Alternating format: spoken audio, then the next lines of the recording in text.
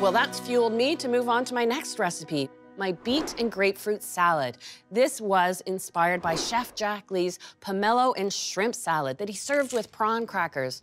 I just love that cooking style in Vietnam, the freshness of the ingredients, but also the pops of color, which made me think of the contrast between purple beets and pink grapefruit.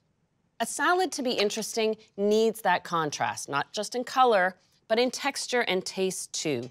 So as the base for my salad, I use a little bit of Belgian endive. I liked Chef Jack's casual style. He paid so much attention to the ingredients he was using, but his presentation was very casual. And I'm gonna take that same relaxed approach and just scatter my ingredients on the plate. And next, the beets.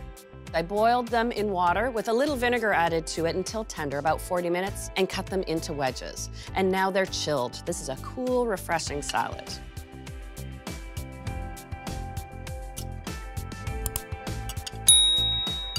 On top of the beets, I'll put my segmented pink grapefruit, the juice from the grapefruit, just the right amount of tartness. And instead of adding salt and pepper, little souvenir from my visit to Ho Chi Minh City, chili salt, a perfect addition.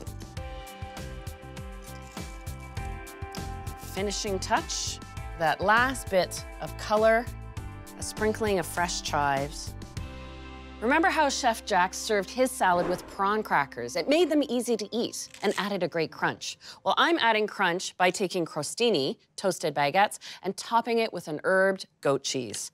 I've got some fresh goat cheese here, so it's very light. And a light flavor like this needs light herbs. So some more chopped chives, and then a little fresh mint. And right before serving, spread a bit of that on top of a crostini and put it alongside the salad. And there it is, so colorful and fresh, a beet and grapefruit salad with goat cheese crostini.